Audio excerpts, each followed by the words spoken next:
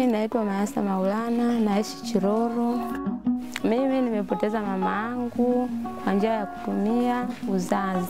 Ilikuwa mimba ya tisa. Mama yangu alianza kuumwa na ujauzito wa miezi mitatu, ameugua ameugua mpaka imefika siku ya uchungu wa uzazi, ikawa amejifungulia hospitali Ndanda. Alivyojifungua pale damu zikamwagika kwa wingi, mama ikawa bahati mbaya, mtoto yuko nzima. Ikawa mtoto yule nimemchukua mimi kumlea wakati nina umri wa miaka kumi na mbili, hata akili zenyewe sina. Nilimlea kwa uwezo wa Mwenyezi Mungu tu.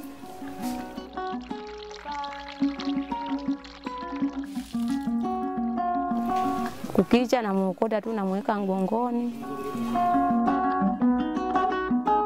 nachokula mimi na mtoto anakula hicho hicho, nisipokula na yeye mtoto inakuwepo anakaa tu bila kula.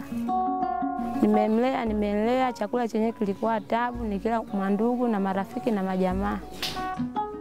Hata na mimi mambo ya kusoma ikawa sijasoma kwa kutokana yule mtoto. nilikuwa mimi ndo namlea, natanga naye, jina lilienda shuleni, lakini kusoma nilikuwa sijawahi kusoma kwa kutokana yule mtoto. Hata hii anasoma, huduma zenyewe hazitoshi, lakini hata hivyo mtoto ana maisha magumu. Ilipokuwa namlea mimi hapa, baba alikuwepo, ila sema baba mwenyewe ilikuwa ampendi mtoto wake, kwa namlea mimi tu. Na mimi nina familia, nina mume, nina watoto wawili. Hii leo saizi nitasema na watoto watatu, ule watatu ni mdogo wangu ambao alimwacha marehemu mama hadi saizi natumia uzazi wa mpango, natumia uzazi wa mpango vidonge. Nimeanza kutumia mwaka na elfu mbili na sita. Inanisaidia niwe na nguvu mwilini, niishi vizuri na familia yangu, nihudumie ipasavyo. Ingekuwa kama situmii uzazi wa mpango, silibidi nizae watoto ovyo ovyo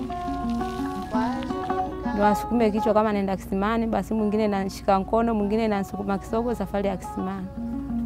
Chakula ingekuwa shida, wangekula nini wakati saa mimi nazaa ovyo ovyo? Kitegemea niwe na maisha mazuri kama hivyo, niwe na nyumba, sehemu ya kulala niwe nayo pazuri, chakula nisitabikie, na afya njema na nguvu mwilini, nilime nipate chakula, niwaboreshe wanangu waishi vizuri, wasome vizuri kama kuna kazi wapate, endapo pale pangepatikana uwezekano.